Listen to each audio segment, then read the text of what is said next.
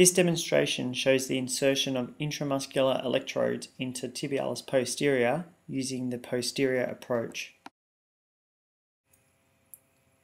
This is a static ultrasound frame showing important anatomical structures in the posterior compartment of the leg.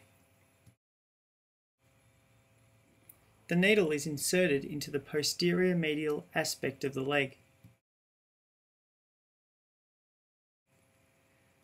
From the top left, the needle can be seen entering soleus.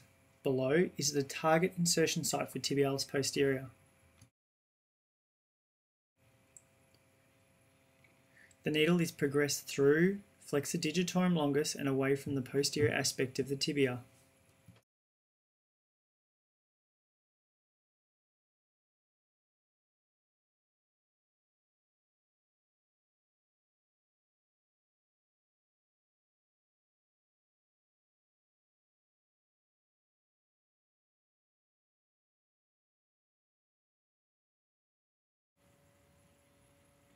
The needle has now reached tibialis posterior and the insertion is complete.